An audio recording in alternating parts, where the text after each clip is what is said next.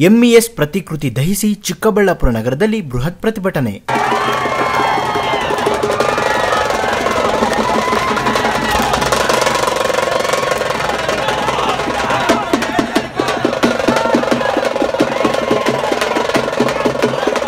MES ಸಂಘಟನೆಯನ್ನು ಕರ್ನಾಟಕ ರಾಜ್ಯದಲ್ಲಿ ಸಂಪೂರ್ಣ ನಿಷೇಧಿಸುವಂತೆ ಒತ್ತಾಯಿಸಿ ಕರ್ನಾಟಕ ರಕ್ಷಣಾ ವೇದಿಕೆ ಸಿಂಹಸೇನೆಯ ಜಿಲ್ಲಾಧ್ಯಕ್ಷರಾದ ಎನ್ ಶ್ರೀಧರ್ ಬಾಬು ನೇತೃತ್ವದಲ್ಲಿ ಎಂಇಎಸ್ ಪ್ರತಿಕೃತಿ ದಹಿಸಿ ಚಿಕ್ಕಬಳ್ಳಾಪುರ ನಗರದಲ್ಲಿ ಬೃಹತ್ ಪ್ರತಿಭಟನೆ ಮಾಡಿದರು. ಚಿಕ್ಕಬಳ್ಳಾಪುರ ನಗರದ ಜೂನಿಯರ್ ಕಾಲೇಜು ಆವರಣದಿಂದ ಕಾಲ್ನಡಿಗೆ ಮೂಲಕ ಎಂಇಎಸ್ ಸಂಘಟನೆ ವಿರುದ್ಧ ಧಿಕ್ಕಾರಗಳನ್ನು ಕೂಗುತ್ತಾ ನಗರದ ಶಿಡ್ಲಘಟ್ಟ ವೃತ್ತದಲ್ಲಿ ಜಮಾಯಿಸಿದ ಕಾರ್ಯಕರ್ತರು ಎಂಇಎಸ್ ಪ್ರತಿಕೃತಿಯನ್ನು ದಹಿಸಿ ಆಕ್ರೋಶ ವ್ಯಕ್ತಪಡಿಸಿದರು.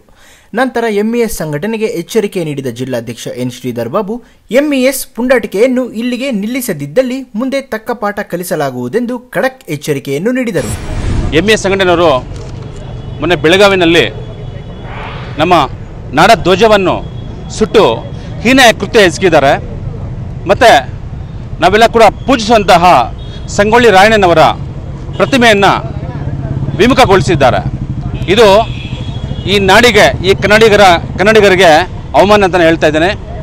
ಎಂ ಇ ಎಸ್ ಸಂಘಟನೆಯವ್ರಿಗೆ ಇಲ್ಲಿಂದ ಡೈರೆಕ್ಟಾಗಿ ವಾರ್ನಿಂಗ್ ಕೊಡ್ತಾ ಇದ್ದೀನಿ ಅವ್ರಿಗೆ, ಎಚ್ಚರಿಕೆಯನ್ನು ಕೊಡ್ತಾ ಇದ್ದೀವಿ.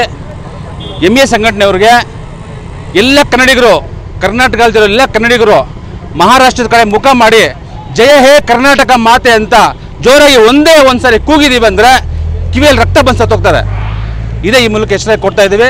ಯಾವುದೇ ಕಾರಣಕ್ಕೂ ಇದು ಇಲ್ಲಿಗೆ ನಿಲ್ಲಿಸಿ ತಮ್ಮದು ಮುಂದಿನ ದಿನಗಳು ಇದೇ ಇದೇ ಥರ ಆದರೆ ಅಲ್ಲಿಗೆ ಬಂದು, ಮಹಾರಾಷ್ಟ್ರಕ್ಕೆ ಬಂದು ನಾವೇನು ಬೇಕೋ ಮಾಡ್ತೀವಿ ಅಂತ ಈ ಮೂಲಕ ಅವ್ರಿಗೆ ಎಚ್ಚರಿಕೆ ಕೊಡ್ತಾ ಇದ್ದೀವಿ. ಇದೇ ವೇಳೆ ಪ್ರತಿಭಟನಾ ಮನವಿ ಪತ್ರವನ್ನು ಜಿಲ್ಲಾಧಿಕಾರಿಯವರಿಗೆ ನೀಡಿದರು. ಇನ್ನು ಈ ಪ್ರತಿಭಟನೆಯಲ್ಲಿ ಮುಸ್ತಾಫಾ ಚೇತನ್ ಚಂದ್ರು ಲವಕುಶ ಮನು ಸಂಜಯ್ ಕಾರ್ತಿಕ್ ಸೇರಿದಂತೆ ಮತ್ತಿತರರು ಹಾಜರಿದ್ದರು.